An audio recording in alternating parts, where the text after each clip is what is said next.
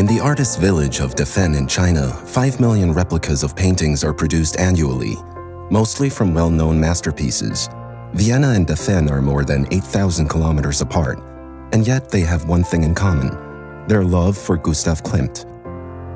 The painter Gan Xiu Chun has been studying Klimt for years. He works in Dafen, where he specializes in the style of the Grandmaster of Art Nouveau. He knows every one of his idol's brushstrokes almost by heart. In China, Gustav Klimt is of great importance. I'm painting his pictures since 2010. A designer commissioned me to reproduce 10 of Klimt's paintings.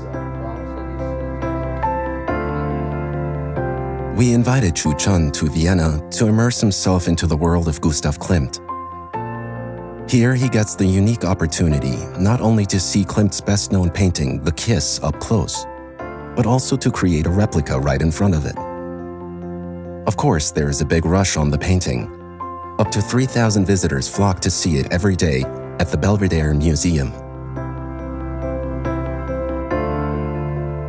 The trip to Vienna gives Xiu Chun the chance to trace Klimt's aura, to discover the city where the artist lived, worked, and died.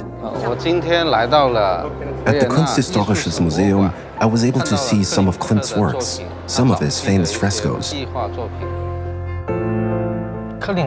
Klimt had a big effect on me on this journey.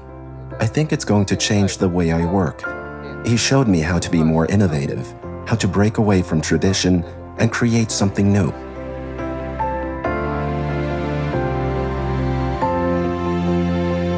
Vienna is a work of art. You can simply feel it.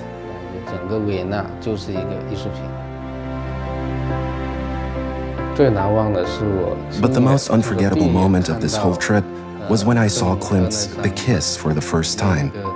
That was an incredible feeling.